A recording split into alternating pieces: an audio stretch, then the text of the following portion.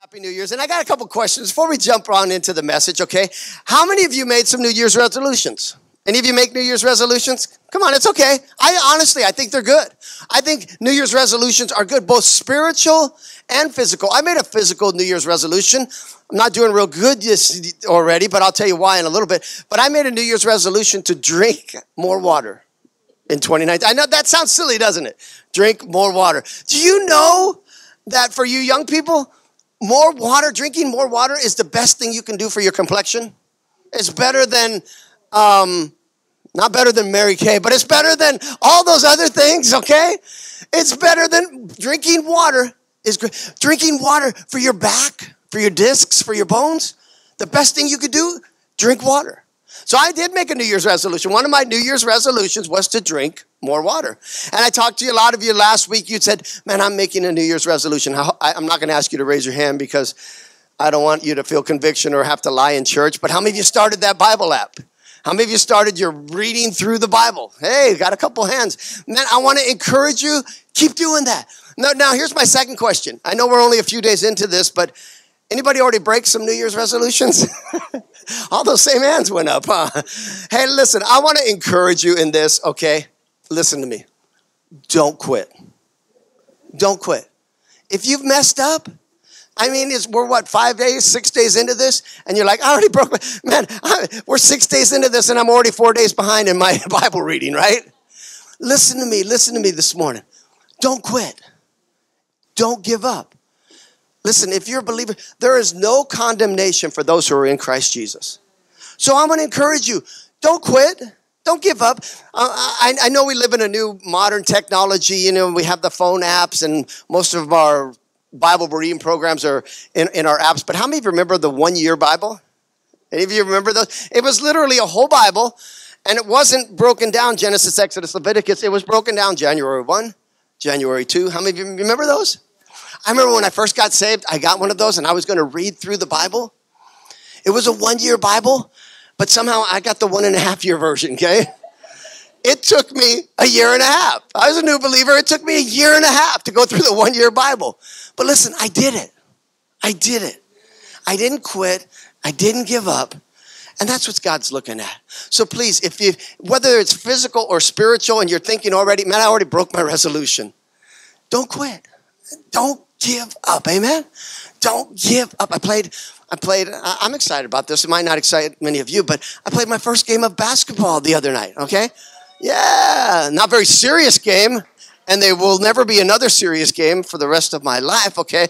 For if you don't know, I dislocated this shoulder, torn some stuff, and, and I can't lift it past there.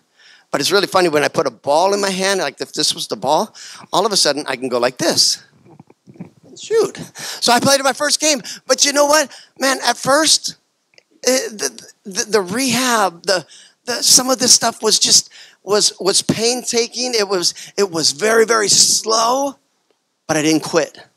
I didn't give up. And I want to encourage you that, man. If you're here this morning and you're a little downcast, don't be. Just get back up and you keep on going. Whether it's a physical resolution or a spiritual resolution, if you've already busted, you already broke it, Get back up and keep on going. Do not quit. Amen. Here's the last question.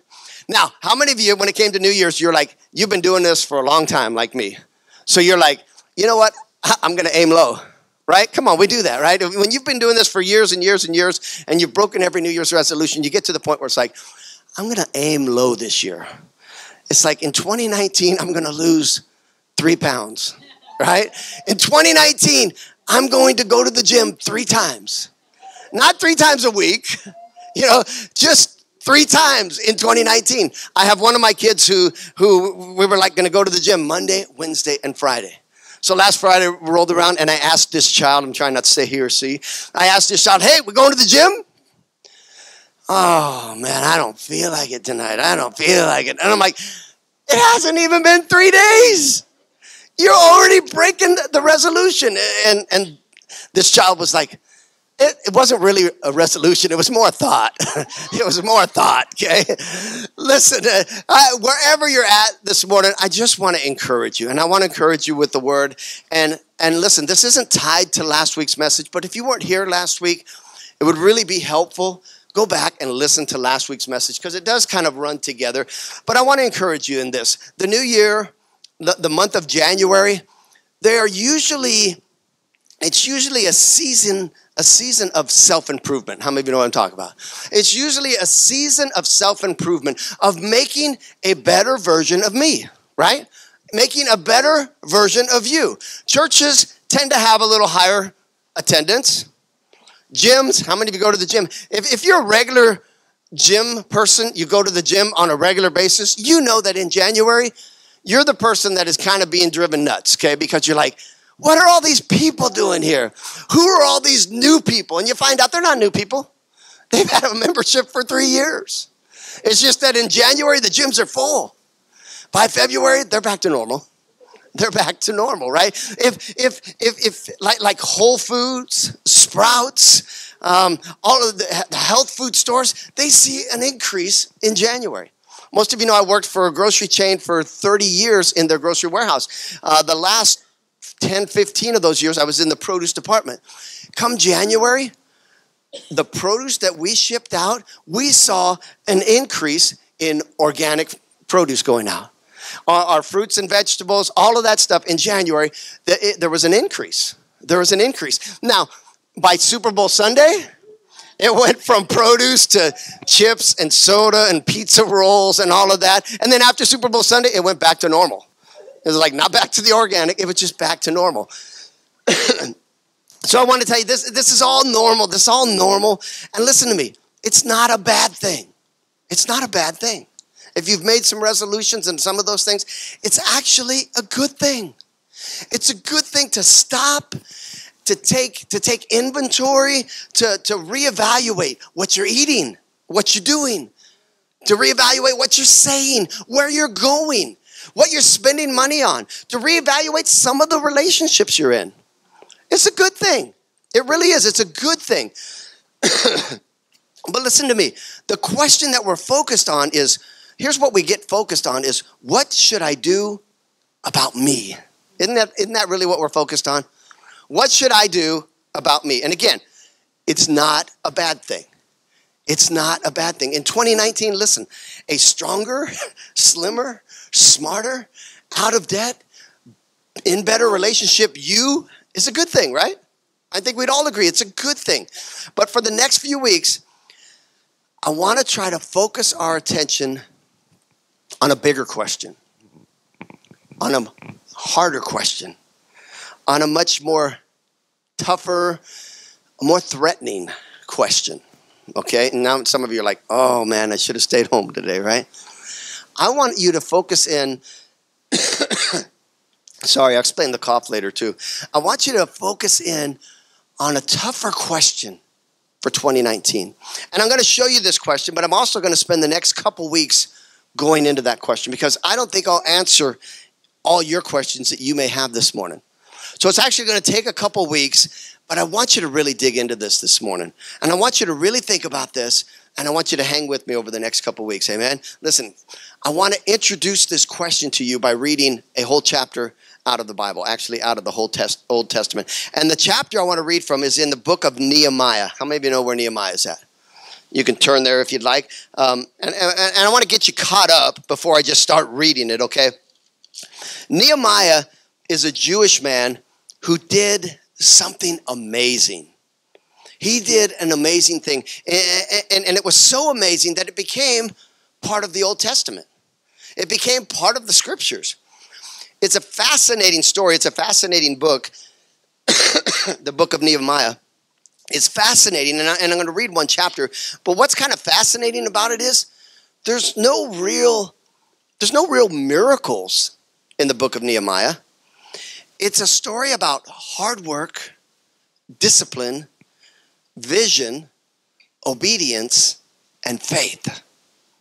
And I want to show you that this morning. I want to let me give you a quick history lesson, catch you up to where this where the book of Nehemiah starts off. And in chapter one is where we're going to start. But here's where we're at. Nehemiah takes place after the Jewish exile, about 605 BC, if any of that means anything to you. But it was after the Jewish exile. And what that was was the, the Babylonians invaded Judah invaded Israel. There was a northern kingdom and a southern kingdom, and I can't really get into all of that. But they basically, the Babylonians invaded Israel. And when they invaded Israel, they killed a lot of the Israelites. They took a lot of them captive. They took the brightest, the smartest, the strongest, and they took them captive. They took them captive as slaves. They put them to work in their governments and different things. They left behind a very, very small remnant. And they pretty much destroyed the city. The, the, the, the nation of Israel was pretty much shut down. Now, after the Babylonians, about 70 years after the Babylonians invaded. About 70 years later, the Persians conquered the Babylonians. So you following me? The Persians come along and, and conquer the Babylonians. Now, this man by the name of Cyrus the Great was reigning, and Cyrus the Great decided, why do we have all these Jews scattered all over the place? Why do we have all these Jews scattered all over the place? So he made this proclamation. He said, If the Babylonians took you out of your homeland you can go home. If you've been displaced, if you've been taken out of your homeland, everybody just go home. You can all go home. So what happened was thousands, thousands, and thousands, literally thousands, I don't know if it was millions, but a lot of the Jewish people, a lot of the Israelites headed back home. They went back home. But when they got there, it didn't go well. It didn't go very well because there was trouble. They had a lot of trouble getting things started. There was no economy. There was no infrastructure. Uh, you'll see that the walls were in dis- the, the walls were torn down. The gates were burned. The city was in disarray. They just had nothing going. It was really a lot going on. so follow me on this. 90 years later, it's Nehemiah. We don't even know if Nehemiah's ever been in Jerusalem. Now, keep that in mind as I start this story off. We don't even know if he's ever been in Jerusalem. We meet, we meet Nehemiah, and he works for King Xerxes. I don't know if I'm pronouncing that right, but that's close enough. This is the king of Persia. And he's working for the king, and he begins to journal his story. And it's actually history. But he begins to journal his story, and that's the book of Nehemiah. So we're going to read chapter one, and then I'll ask the question that we're going to be looking at for the next few weeks. So if you've got your Bibles, your phones, whatever you may have, um, open them up to the book of Nehemiah. I'm actually reading from my Bible. I, I'm actually turned into one of those techie people. Can you believe that? I mean, I usually, I always have my scriptures up here on this big piece of paper. And if you ever wondered why, it's because I can print it bigger on this, okay?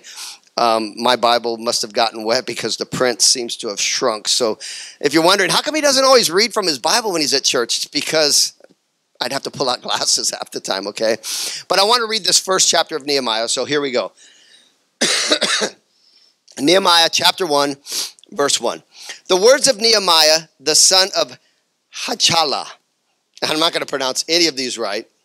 Okay. And it came to pass in the month of, uh, of Chislev, in the 20th year, as I was in Shushan, the, the citadel. Now listen, I'm going to stop periodically through this, but that may just sound like a whole bunch of words right there that I just read. It may sound like it's not even that important or anything else, but listen, that, that little verse right there is very important. What that verse is showing you is some history there. There's some history there. It gives theologians and, and archaeologists it gives them a date. It gives them a time. It gives them a place. And they have literally gone back in history because of times and places and dates like this and confirmed what the Word of God is saying. So it's not just, this story doesn't just start off with once upon a time in a land far, far away. It's giving you some history. It's giving you something to latch a hold of. Okay, so so so verse 2 says this. Then Hanani, one of my brethren, came with men from Judah. And I asked them concerning the Jews who had escaped, who had survived the captivity, and concerning Jerusalem. And they said to me, The survivors who are left from the captivity in the province are there in great distress and reproach. The wall of, the wall of Jerusalem is also broken down, and its gates are burned with fire. Pause there for a moment. Here's basically what he's saying it's not going well it's not going well. Eh, eh, we're having a tough time. Things are not going well there. He gets this report back from people that, man, it's bad. It's bad there. It's not going well. Watch his response, verse 4. And so it was when I heard these words that I sat down and wept and mourned for many days. I was fasting and praying before the God of heaven. I got to pause there again. Listen. He wept and mourned and fasted for days.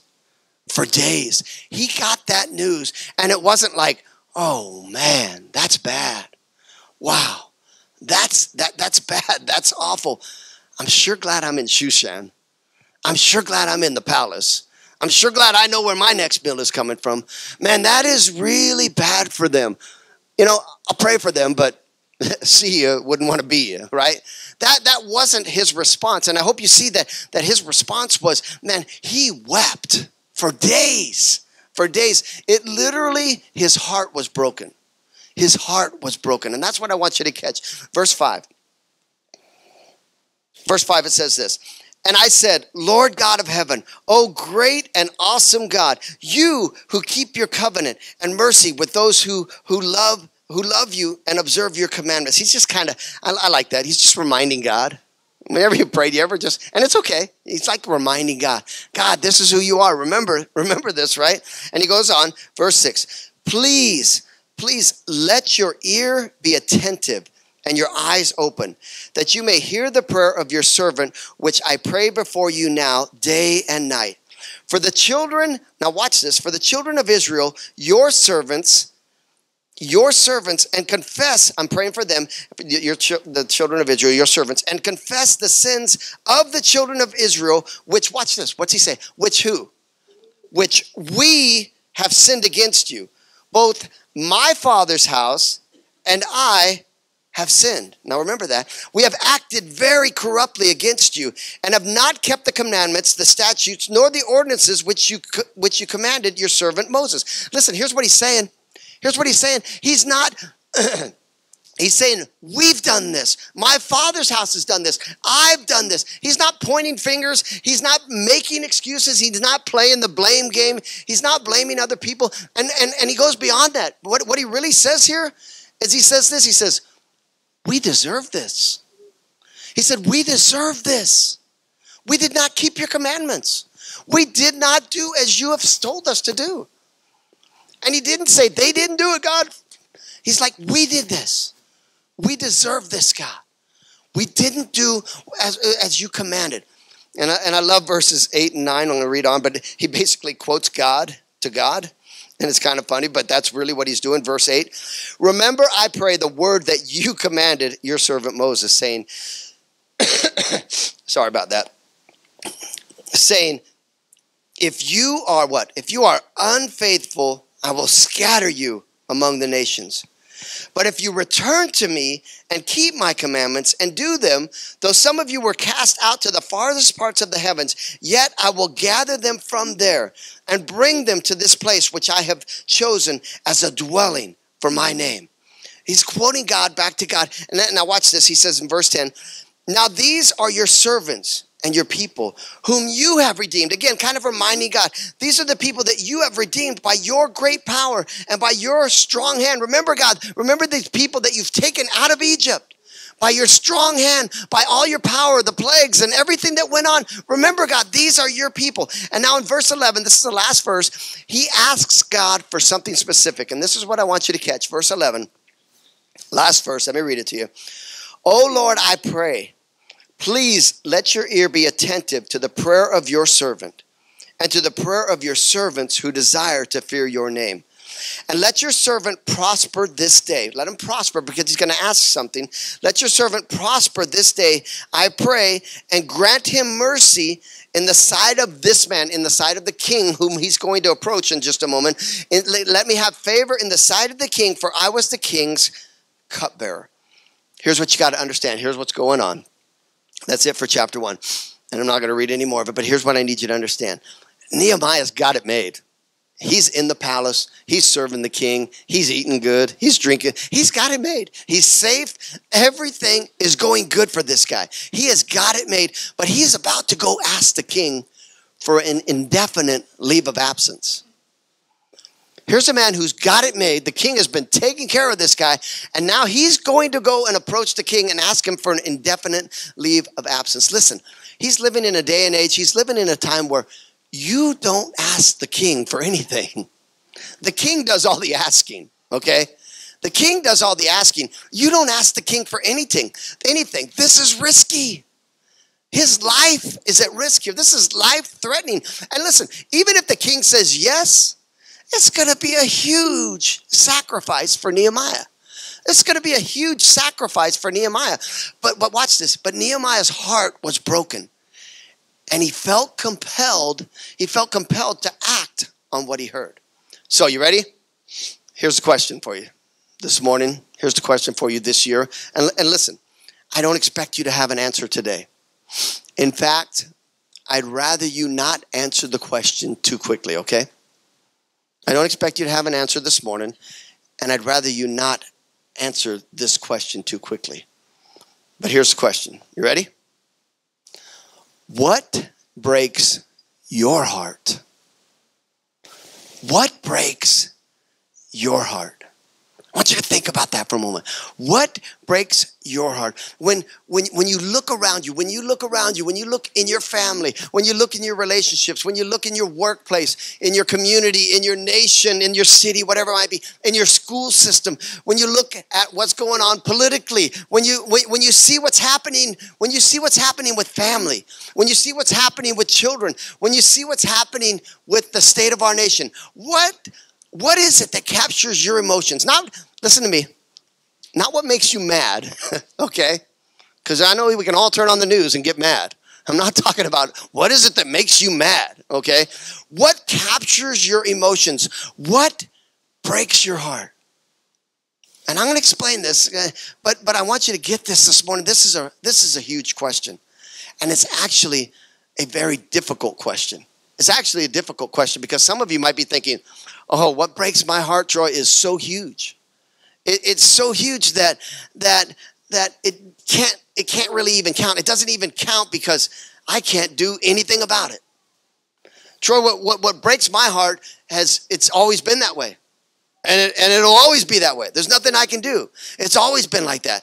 It, what breaks my heart, Troy, is, is, is this, this, and this, but it doesn't really count because I don't know anybody in that field. I don't know anybody in that area. I don't know how to affect change in any of that area. I don't have the resources. I'm too young. I'm too old. There, there, there's so many things that you could begin to say, well, that breaks my heart, but this, but this, and that, but this, and that. Listen, what breaks your heart is going to be a very dangerous question. It's going to be a very dangerous question for all of us. But here's what I want us to do. Instead of going into 2019 asking the question most, most people will ask, what about me, right? What can I do about me? That's the question we're all asking, and most people will ask, What can I do about me? What if we ask this question? What can I do around me?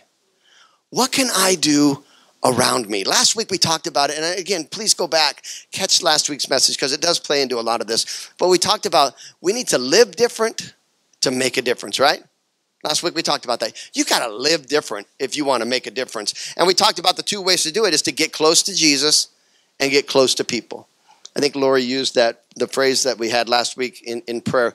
Uh, people people need you to get close to Jesus, and Jesus needs you to get close to people. And we talked about that last week, and and and, and that's how that's how we make a difference. That's how we make a difference. And here's here's what I know about you. Here's what I know about me in, in this sense.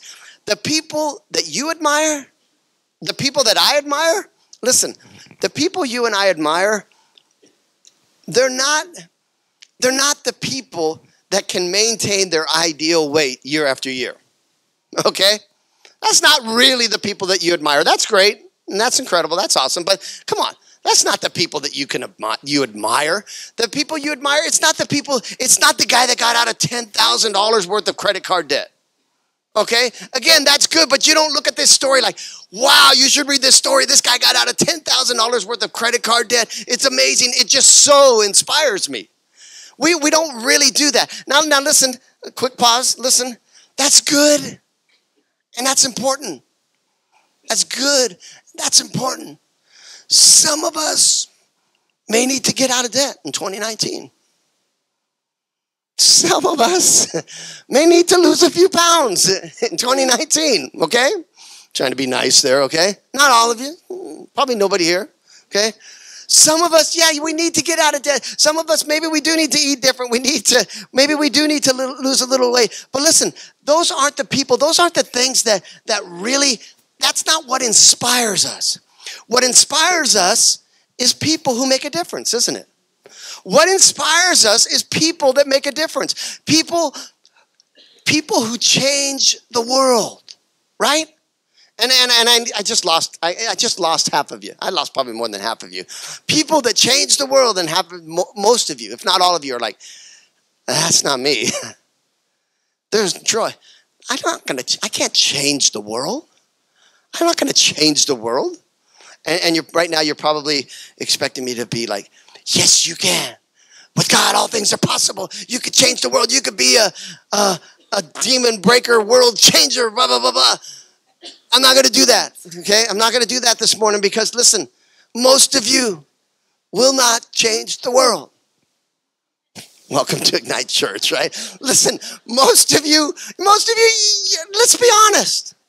Very few people do, right? Come on. Let's be honest. And now, now I'm not saying I said most. I didn't say you won't. Man, the cure for the cure for cancer could be one of you in this room. I mean, some one of you in this room could be the person that sparks a revival that sweeps through this nation. I'm not ruling any of that out. With God, nothing is impossible. With God, nothing is impossible. So please don't misunderstand me. I'm just saying, as a general rule, okay, probably none of you in this room are going to change the world. Okay? Now follow me though, but because because here's what's even bigger and more important than that. Everyone in this room, everyone here this morning can change somebody's world. Everybody here this morning can change somebody's world. That should be our goal. Listen, that should be your New Year's resolution. You want to make a New Year's resolution? My New Year's resolution should be I want to change somebody's world in 2019. That should be our goal. That should be our New Year's resolution. Listen, if that's not our goal, if that's not our goal, if that's not your goal, if that's not the church's goal, can, can I just predict to you what 2019 will look like? If that's not your goal, let me predict to you what 2019 will look like for you. We'll sit around, we'll watch TV, and we'll blame everybody. We'll blame everybody.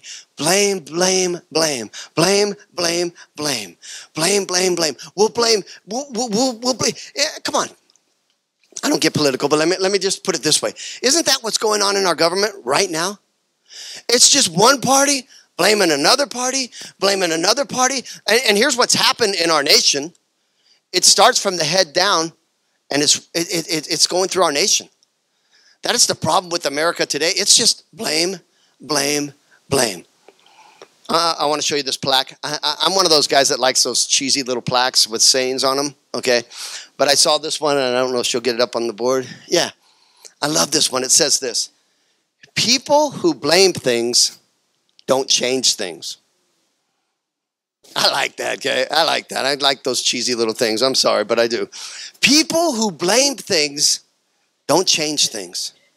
Listen, when something breaks your heart, if you just sit there, if you just sit there and say, well, it's the president's fault, well, it's Congress's fault, well, it's the PTA's fault, well, it's it's I don't know, it's it's the school system's fault, it's it's the Democrats' fault, it's the Republicans' fault, it's my boss's fault, it's my parents' fault, or or it's the church's fault. It's the church's fault. Or, or it's, it's this person who wronged me when I was a child. It's all their fault. It's all, listen, all of those things may be true, please.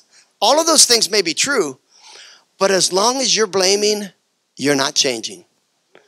As long as you're blaming, then nothing is changing. Blame is not a strategy for changing anything. Blame is how we avoid changing. Me say that again. Blame is not a strategy for changing anything. Blame is how we avoid changing things. Think about this for a moment. What if we took all the time and energy that we spend blaming and actually focused it on bringing about change? And listen, I know that sounds like that sounds like a really good political statement, doesn't it? I'm not even I'm not listen, listen, I'm talking about our own lives. I'm not talking political. I'm talking about your life this morning. Your own personal life this morning. if you're if you're here this morning, listen, eh, if you're not a Christian, then you're then you're off the hook, okay? But listen, if you're here this morning and you're a Christian, if you're here this morning and you're a Christian, let me change that. Let me change that. If you're here this morning and you're committing to living your life by what Jesus taught, okay? Because honestly, that's really what a Christian is, but we won't go there right now, okay? But listen, if you're here this morning and you're committed to living your life by what Jesus taught, you can't actively follow Jesus without making someone's life better. You can't. You can't. Close to God, close to people. Listen, we can't win God's favor without loving the people He loves. You're not going to win His favor without loving the people He loves. People matter to God. So people should matter to us. Everywhere Jesus went, people were better off. Think about that. Everywhere, I'm not saying they were happy, some got mad and all of that, but everywhere Jesus went, people were better off. Listen, he didn't just feel compassion, he acted compassionately. Do you understand that? Jesus didn't just feel compassion, he acted compassionately. So, so what moves you? What, what breaks your heart? What breaks your it sounds like what's in your wallet, right? What what breaks your heart this morning? Now, now let me let me begin to wrap it up. First close. Interesting thing about Nehemiah is Nehemiah is acting he's acting on what broke his heart. But there's more to this story than what you really see. The interesting thing about this story is the timing of it. It's God's timing and everything that's going on. What Nehemiah didn't know was he was just part of a sequence of events. Nehemiah was just part of a sequence of events that started way before him and would continue long after him. Listen, 70 years before Nehemiah, God stirred the heart of a man by the name of Jer- Zerubbabel. He stirred Zerubbabel's heart and he told him, Go back to Israel. Go back and start rebuilding the temple. 14 years before Jeremiah, Nehemiah, sorry, 14 years before Nehemiah, God stirred the heart of a man by the name of Ezra. And he told him, Go back and teach the people the law. And then came, then came Nehemiah. Go back, rebuild, organize the people. And all of that in preparation for what would happen 440 years later when Jesus would walk into that very city, that very temple, and proclaim to be the Messiah. It looks as if Nehemiah was just acting upon what was on us. It was all, it was all part of God's plan. Listen, Nehemiah's decision to embrace what, what, what broke his heart, what broke his heart was, was actually what God was doing all along. Listen to me, listen to me, because you, you need to get a hold of this. You have no idea what hangs in the balance. You have, you have no idea of who hangs in the balance to you making a decision to do something about what breaks your heart. You have no idea. Nehemiah probably had no idea. Let me tell you this God sent his son into the world to do for us what we couldn't do for ourselves. You know why? Because our sin broke his heart. God was moved because our sin broke his heart. And he did something about it. What, what breaks your heart this morning? What breaks your heart this morning? Can I just, uh, I feel like I don't know if I need the rest of this or not, but man, I, I, just feel like I just want to sit down and talk to you for a moment. Can I just sit down and talk to you? I, I, I feel like I want to share this with you in such a way that, that I want you to get this. It's, it's, it's like, I, I just want to be honest with you. That, that's I was never going to say that this morning. I was never going to say that. That was a resolution. How many of you have ever said, "Can I be honest with you"? Uh, that was one. That was a phrase that I was trying to eliminate out of my vocabulary because what it's saying is like, "Hey, can I be honest with you now? Everything I just said before all of this was a lie, but let me be honest with you, okay?" So I, I know I just said that, but disregard that, okay? Let me sit down. Disregard that. I, everything I said before this was the truth, okay? Uh, but let me let me just I want to share with you what's going on and, and, and what I'm feeling and thinking, okay? Because honestly, this, this, this, this, this is me being honest. I didn't like the message. I didn't like the, I thought I would like the message a little bit more this morning, okay? But because I, I sat down Friday and, I, and I'm putting all my notes together, everything together, and I'm just like, I don't know if you've ever been there doing anything like this, a presentation or anything. And I'm sitting there Friday and I'm like, ah, God, I don't really like this. I don't, God, I, I'm not really liking this right now. Because I know, God, that when I get home, I'm going to get asked this question where were you where are you going with this? Okay i'm gonna get asked that where are you going with this? And it's like i don't know. I don't know. So so so i was kind of like i just god i'm just gonna start over. Let me just this friday afternoon i'm like god i just need to start over. God you, you know where i'm at.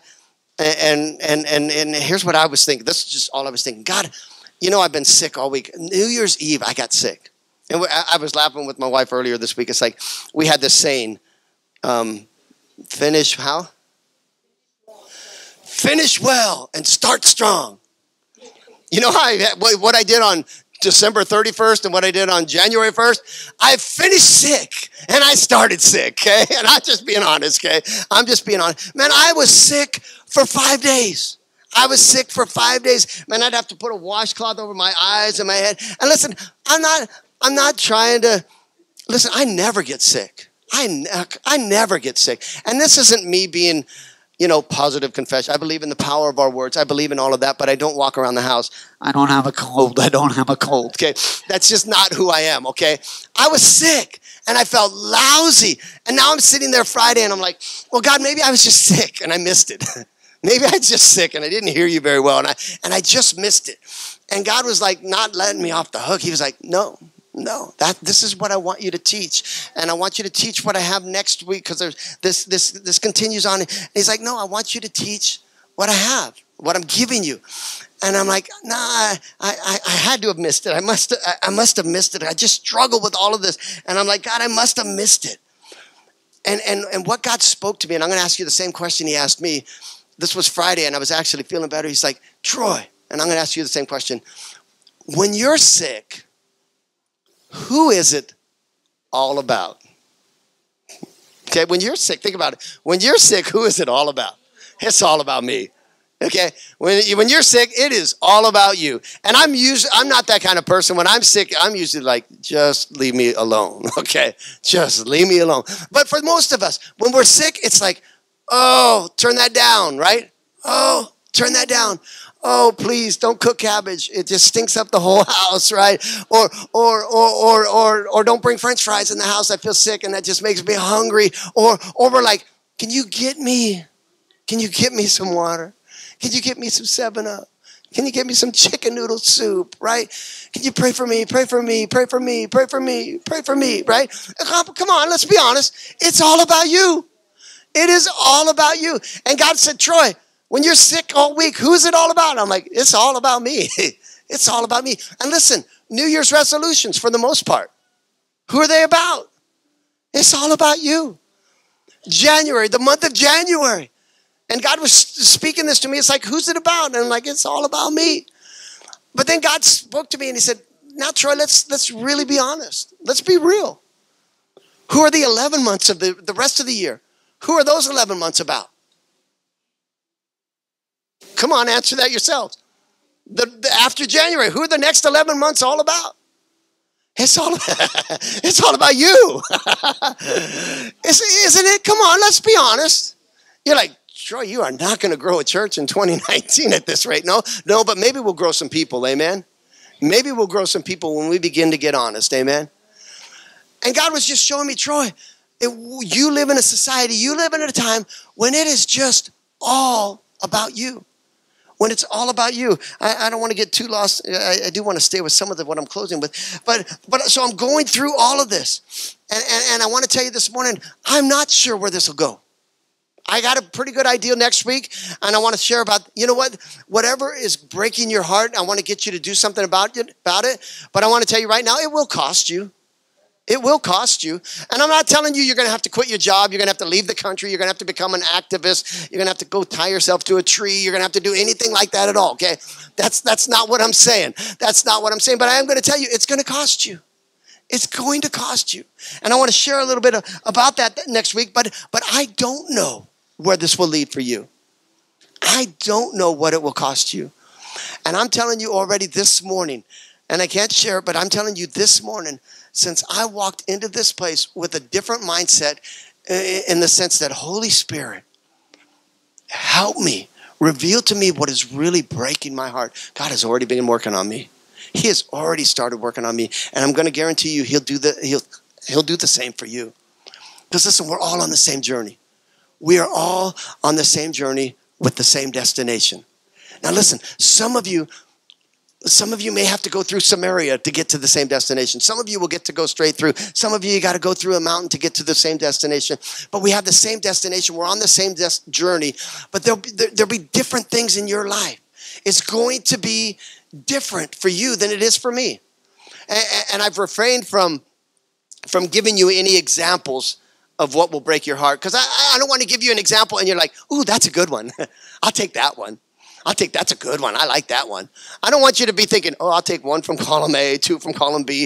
And so I've refrained from from giving you any examples, but let, let me just give you one. And please don't make this yours unless it really is yours. But but some of you out there, man, some of you, you see a homeless person and it breaks your heart. Some of you are wired that way. You see a homeless person and it breaks your heart. I see a homeless person and I think Second Thessalonians chapter 3 verse 10. Of you know, I see a homeless person. I think Second Thessalonians chapter 3, verse 10. If a man doesn't work, a man shouldn't eat. And some of you are like, gosh, you're mean. You're... No, I'm not heartless. Okay, there are some times I see a homeless person and God moves me with compassion and I will react on that compassion. But some of you see a homeless person, any homeless person, and it breaks your heart. That's not me. That's not me. And it's okay because there will be something in you, something about the way that you're wired, something that will break your heart that maybe won't break somebody else's heart. But I'm telling you that in 2019, God wants us to move upon that, to move upon whatever, whatever it is. And I believe that if, if you spend this next week, from now until next Sunday, if you spend this next week just asking, God, help me to see what really breaks my heart, not what makes me mad, just turn on the news to get that. God, show me, Holy Spirit, show me what really breaks my heart and what I can do about that. I believe if you begin to ask God that, I begin to, I believe that He, the Holy Spirit's going to begin to reveal that to you. And listen, 2019 won't end up being a year all about you. It'll be a year about those around you, those things that are going on around you. Listen, listen to me. Yes, make a decision to lose weight. That is great. Yes, make a decision to get out of debt. But I want to tell you something this morning. Listen to me this morning. There's more to you. Take this as, as nice as I can. There is more to you than your chubby little body and a bank book balance, okay?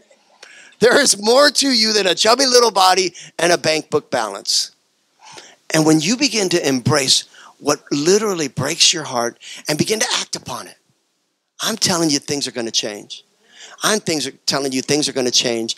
And not only that, I'm telling you that 2019, and I hate saying this because I hate the pastors and people that say it. I don't hate them, okay? But but 2019 will be your best year yet, okay? You, you've heard that so many times you get sick of hearing it, right? But I'm telling you right now, if 2019 becomes a year that you're focused on those around you and what's going on around you rather than just you, it will be your best year. It will be your best year. So I want to close and I want to pray. And really, I, hope you're getting this this morning. I hope you come back next week and just start to begin to absorb this because I don't think I'm going to answer everything this morning. Yeah, it seems kind of vague. It seems kind of huge. What breaks my heart? Oh, Troy, that's too vague. That's too big. That's too huge. I get that. But I also believe that if you begin to ask the Holy Spirit to reveal those things to you, He will. And it'll be life changing. Let me pray for you. Thank you for joining us today. We hope you enjoyed the message. You can check us out on Facebook, Instagram, or online at ignitechurchoc.com.